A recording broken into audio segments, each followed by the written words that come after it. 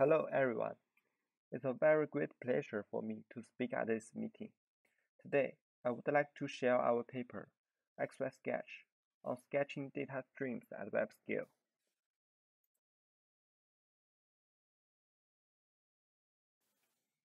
My presentation will cover the following five aspects. Introduction, XY Sketch, analysis, evaluations, and conclusions.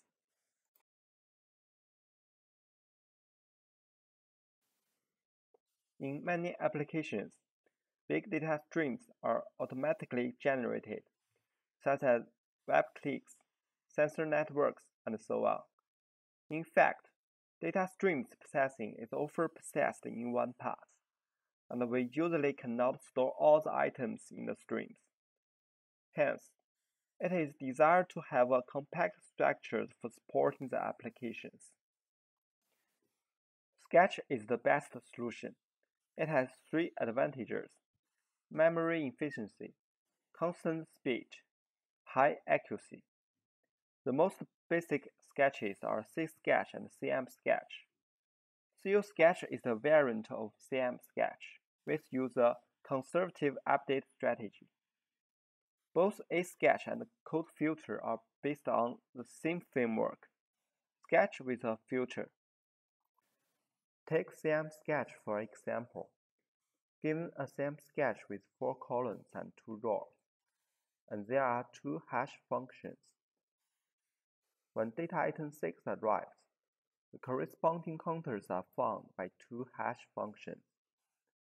In the first row of the second column and the second row of the third column.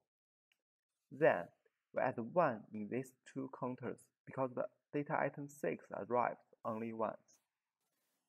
Similarly, when data item 8 arrives, we find the corresponding counters and update them by the same hash function. When querying data item 6, similarly, the corresponding counters are found by two hash functions. Then, we will get the values 5 and 10. We return 5 as the final result because 5 is smaller than 10 we can see that because of hash collisions, each counter may record the frequency of multiple items. Therefore, the area of CM sketch is very large, but the space is small. On the other hand, as the number of items becomes larger, the area of CM sketch will increase rapidly. Then, we show our new method. XY sketch. First of all, we introduce two inspirations of XY sketch. We found that an item can be seen as a set of basic elements. For example, item 363 can be decomposed into 535 by the bijective function, and we call 535 as the basic elements. Due to the bijective function, these basic elements can be recomposed uniquely as the original item. It means that these three basic elements can uniquely represent the original item.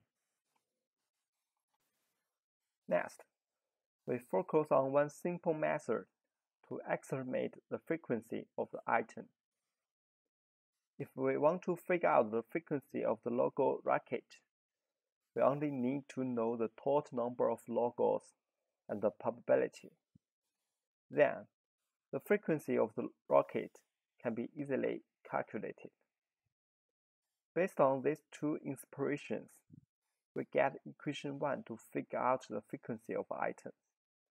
But unfortunately, the space complexity of this method is very large, which is unfoldable. To this end, we reduce the space overhead by sacrificing accuracy by equation 2. In this way, the space complexity is reduced to WD. That's the key point of XY sketch. Now, it's time to introduce XY sketch formally. XY sketch maintains DW counters Initially, all of the counters are set to zero. It has one bijective function. When item arrives, it is decomposed into d basic elements. Then, the corresponding counters are updated. Similarly, when calling an item, after finding the counters of its basic elements, we can easily recompose the original item by the bijective function. We use an example to introduce the XY sketch in detail. There is an XY sketch with four columns and two rows, and it has recorded 16 items. When data item 6 arrives, it is decomposed into 1 and 2 by the bijective function.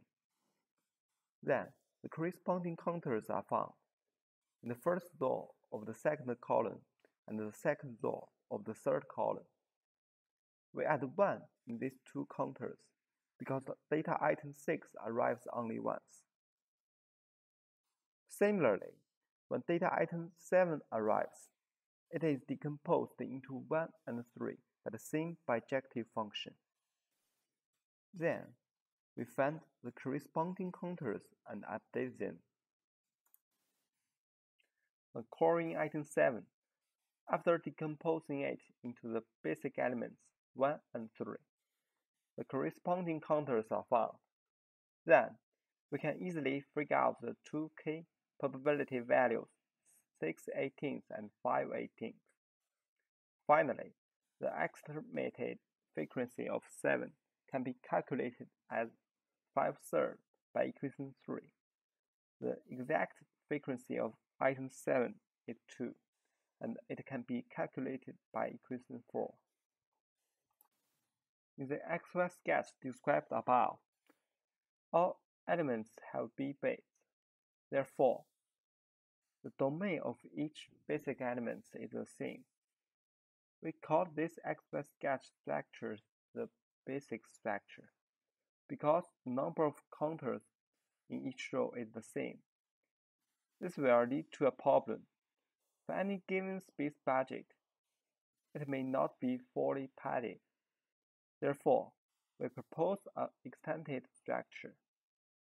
It does not require the same number of counters in each row. We adopt a greedy strategy to occupy the remaining space as much as possible. Finally, we can get the number of counters in each row of XY sketch. There are lots of bijective functions that can be chosen in XY sketch. We introduce a statistics-based optimization to choose a proper bijective function of, of XY sketch. First, we calculate the entropy of each bit through a few items in the string. Then, we sort the entropy of each bit. We set W1 bits with the highest entropy as the first basic element of an item. The following W2 bits with the highest entropy are set as the second basic element. In this way, we allocate all bits properly and construct the final bijective function. The reason why we take this strategy is written the paper and we will not share it in detail because of time limitations.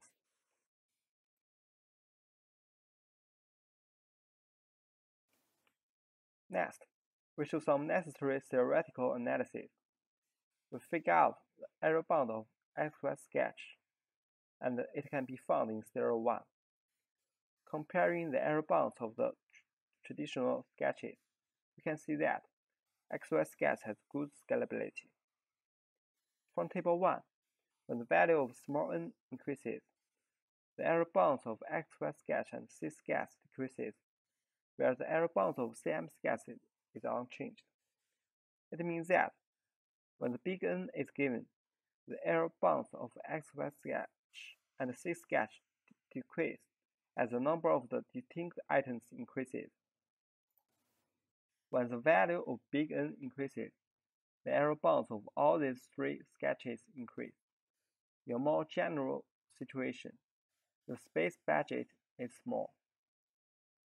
The factor in the error bound of XY sketch will be smaller than the factor in the error bound of CM sketch, which shows that the XY sketch rises more slowly as the big N increases. Therefore, XY sketch has good scalability. Now, we show the evaluation results of XY sketch. We use both the real datasets and the synthetic dataset to test our XY sketch. We use AAE and ARE to measure the accuracy of the sketches. We compare XY sketch with five classical sketches.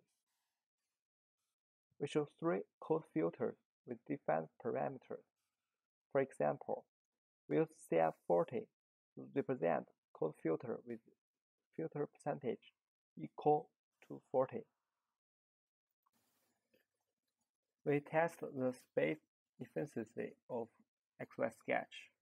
In Figure 1, all methods achieve smaller AAE and ARE by increasing the space budget, whereas XY sketch performs better. We evaluate the small n scalability of XY sketch and its competitors.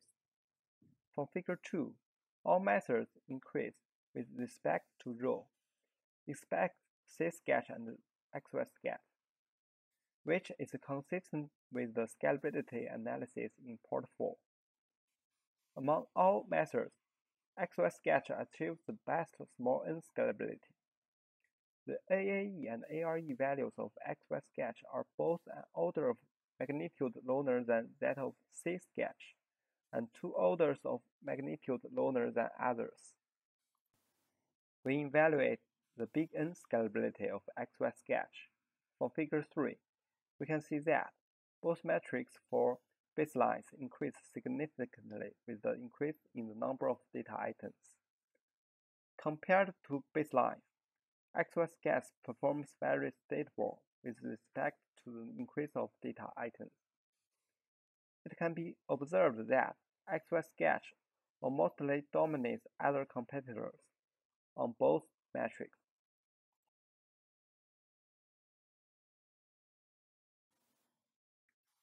Finally, I would like to make conclusions with this presentation. We propose a novel sketch called XY sketch. We propose both basic structures and the extended structure for XY sketch. We also propose the corresponding optimization to choose a purple bijective function. We conduct a detailed theoretical analysis for the examination error bounds. We conduct experiments to evaluate the performance of XY sketch. Thank you very much for your attention.